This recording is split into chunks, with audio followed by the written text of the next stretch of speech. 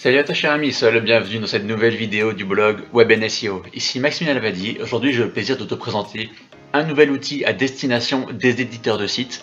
Ça s'appelle Web Editor Network, tu vas voir ça envoie du lourd. Donc je vais te montrer tout ça sur mon écran. Hop là. Là on est sur le site de webeditor.network, donc c'est un outil vraiment complet qui va te permettre de faire énormément de choses dans l'espace de quelques clics. Par exemple, déployer un nouveau compte cPanel, le configurer, monitorer ses sites, organiser le planning de rédaction, gérer ses PBN, etc. etc. Tu vas voir que c'est assez énorme. Et le gain de temps il est énorme si tu souhaites lancer plusieurs dizaines, voire plusieurs centaines de sites à la fois. Donc là, je vais te montrer mon espace membre. Donc là, on est sur le tableau de bord de base. Voilà. On va pouvoir faire pas mal de choses ici. La première chose qu'on va faire, c'est d'aller configurer son compte. Donc voilà. On a une clé API ici si on veut aller configurer ensuite le plugin euh, Way2 Connect sur ces sites WordPress. On va pouvoir ainsi publier euh, les contenus qui ont été générés via cette plateforme. Voilà, là on va pouvoir configurer indexer.express, le Cloudflare. Ensuite, là on va pouvoir gérer les catégories et les sites. Donc là j'ai configuré deux catégories. on a web et finance. Là, on va voir la liste des sites juste ici. Facturation, WordPress. Alors, déjà, ce qu'il faut faire, c'est d'aller configurer par rapport au domaine. Donc là, si on va là, ça va être pour configurer en son compte InternetBS. Donc InternetBS, c'est un, excellent registrar. On peut gérer ses noms de domaine. Et là, on va pouvoir le connecter en fait avec Web Editor. Et euh, ainsi, en fait, on va pouvoir, lui va pouvoir aller configurer automatiquement bah, les, euh, euh, les, name servers par exemple. Voilà, ici on va pouvoir configurer son cPanel, donc recommandation c'est O2 Switch. Donc si tu as déjà un compte O2 Switch, tu vas, pouvoir le configurer ici, donc mutualiser, dédié. Et là tu vas pouvoir même commander directement ici. donc c'est voilà, le cPanel Web Editor qui a 50 euros par an, tu vas pouvoir configurer jusqu'à 30 domaines par contre. Et si tu en prends deux, ça va être plus intéressant, ça va être 90 euros par an donc 60 domaines. Voilà pour la partie, donc on a vu pour les domaines, on a vu pour les serveurs, ensuite on a les templates.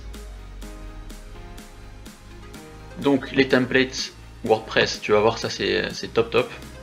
En fait tu vas pouvoir déjà donner un nom à ton template. Et là en fait euh, si, tu as, si tu connais déjà bien le plugin euh, All-in-One WP euh, Migration, en fait c'est un, un plugin de migration sur lequel tu vas pouvoir en fait configurer euh, bah, par exemple un thème et un ensemble de plugins. Et si tu l'as déjà fait une fois, tu vas pouvoir juste l'uploader ici. Et ensuite, quand tu vas déployer de nouveaux, sites, tu pourras utiliser cette backup et tu vas ainsi bah, pas, te prendre la tête. Ça va vraiment être un gain de temps énorme.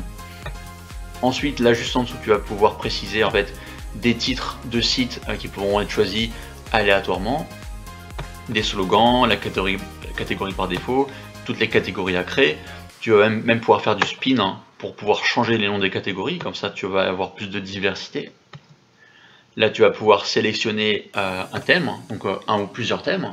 Par exemple tu peux euh, saisir Astra, Ocean WP, GeneratePress, qui sont d'excellents thèmes freemium. Et là tu peux aussi choisir un thème aléatoire optimisé par Web Editor, voilà, tout simplement. Là ensuite on va avoir euh, les plugins, donc là tu vas pouvoir faire la liste de tes plugins, donc euh, ça peut être un plugin SEO, ça va être euh, un plugin de sécurité, WordFence, ça va être voilà un, ensemble de choses si tu veux sécuriser, rendre ton site plus performant, etc. Ça peut être un plugin de cache aussi par exemple. Et là juste en dessous tu vas pouvoir bah, configurer des, si tu as des, des idées de script, de commandes à réaliser sur le serveur, ça pourra te faire gagner pas mal de temps aussi.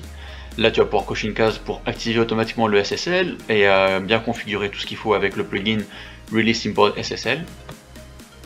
Voilà. Et enfin, si tu as le, plugin euh, BHM Generator, qui est un plugin Black Hat très pratique, tu auras juste à cocher cette case et à configurer ton compte ici. Voilà. Ensuite, euh, non, ça on va voir juste après. On a la configuration de WordPress. Donc là, en fait, tu vas pouvoir euh, configurer, en fait, dès que tu vas créer un nouveau site WordPress, tu vas pouvoir renseigner cette adresse email là. Ensuite, login et mot de passe, ça tu peux le renseigner aussi si tu veux avoir le même sur tous les sites. Si tu veux avoir quelque chose de différent à chaque fois, tu peux laisser les deux champs vides. Là, tu vas sélectionner ta langue. Est-ce que tu veux avoir le www au début ou pas? Euh, ça c'est une solution bah, sympa. Si tu coches cette case, en fait, tout simplement, il va créer en fait un widget dans lequel il va placer des liens vers les différents sites que tu vas créer, que tu vas générer. Et là, voilà, login et mot de passe aléatoire si tu le souhaites. Et là, en fait, si tu configures automatiquement bah, Internet BS et Cloudflare, bah là, en fait, il va, il va bien configurer les noms de domaine que tu as déjà enregistrés chez Internet BS qui sont sur ton compte.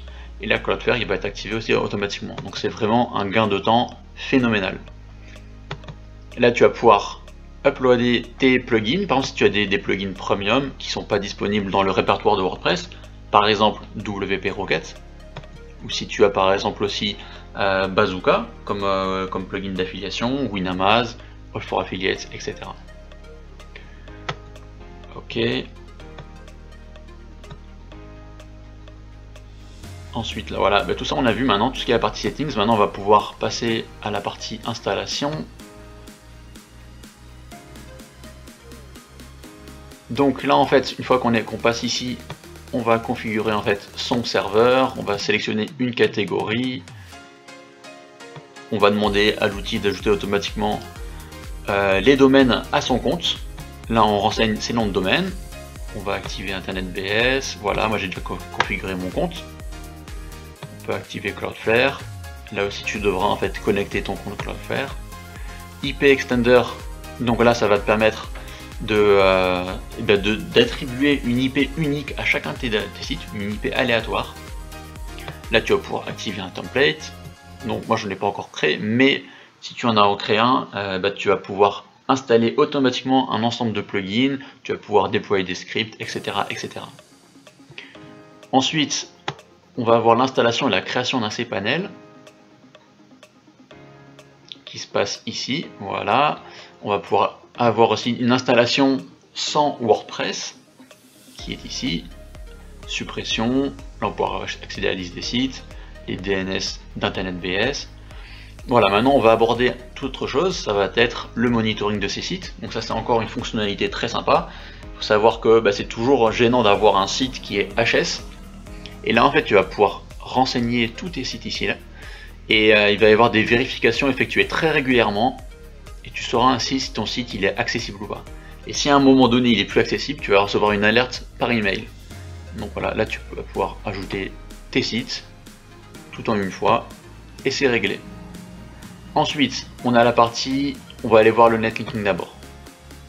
Donc on a une partie web profil qui est, euh, qui est très sympa en fait. Là tu vas pouvoir passer une commande en fait. Donc un web profil ça va être 3 euros et euh, Web Editor a, une sélection de, 36 euh, web profils différents. Donc si tu veux voir un exemple de web profil, eh ben, c'est tout simplement un profil qui va être créé sur un nom de domaine d'autorité.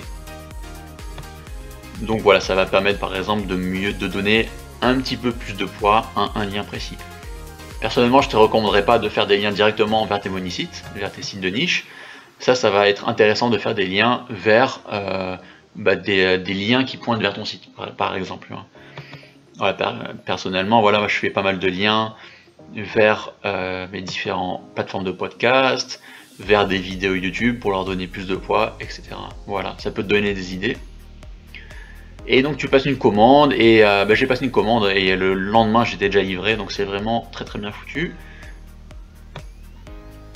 Voilà, donc là ce sont les liens qui sont créés. On peut avoir un aperçu à chaque fois. Et de manière automatique aussi, ce qui est super sympa avec ce service-là, avec Web Editor, c'est qu'il est passé directement dans l'outil Indexer. Donc Indexer Express, en fait, c'est une, euh, une solution en fait qui va te permettre d'indexer n'importe quel lien. En si tu veux que Google indexe un lien précis qu'il n'a pas encore indexé, bah, tu le renseignes dans cet outil-là et ça va, ça, va, ça va prendre très très rapidement. Donc euh, bah, Indexer Express et Web Editor c'est le même développeur, donc c'est vraiment, euh, très très bien. Voilà, et euh, donc les, web profils ils vont être normalement indexés si tout se passe bien. Et là si tu as d'autres liens à faire indexer rapidement, tu peux les, les, saisir ici en batch et ça va aller très très vite. Voilà, maintenant on va passer à la partie rédaction. Donc déjà, on va devoir créer un projet. Moi j'ai créé un projet qui s'appelle WebNSEO. J'ai passé une commande d'article aujourd'hui. Si je veux passer une nouvelle commande, je peux cliquer ici. Donc là, on va saisir en gros le sujet global, on, peut choisir un rédacteur. Donc là, on a accès à un rédacteur de la plateforme Web Editor. On peut fixer une deadline, le nombre d'articles à rédiger, le nombre de mots minimum par article. Là, on va mettre son, petit brief. Là, on peut mettre une pièce jointe. Euh, si, tu, veux donner, par exemple, euh, plus de détails dans un fichier Word, ou si tu veux tout simplement euh, mettre des images, ou, peu importe. Voilà. Ensuite, on a les liens à placer dans, les contenus. Il faut en mettre un par ligne. Pareil pour les encres. Et là, tu vas pouvoir aussi saisir les titres pour chaque publication. Voilà, là on a la partie comptabilité, la partie rédaction.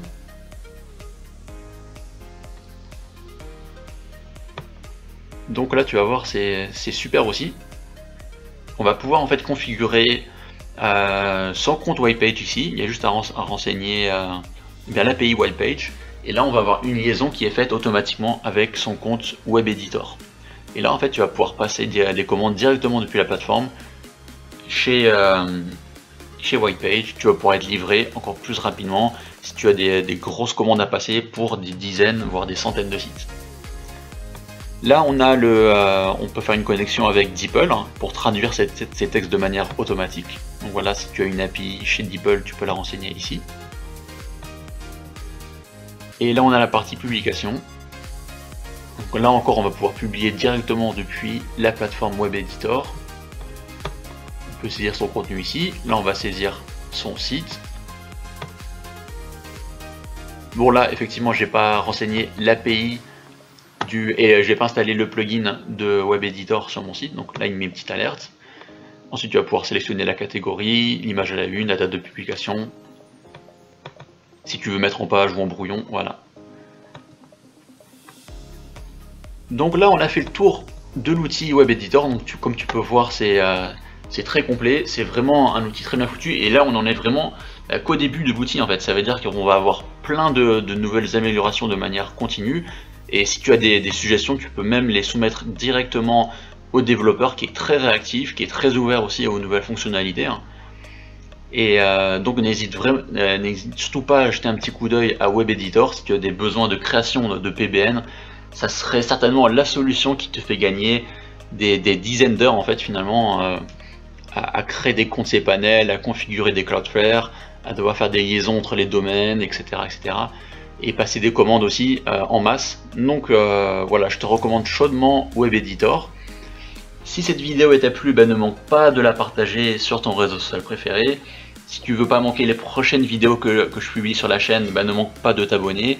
Quant à moi, je te dis à très très bientôt pour de nouveaux contenus sur Web Allez, ciao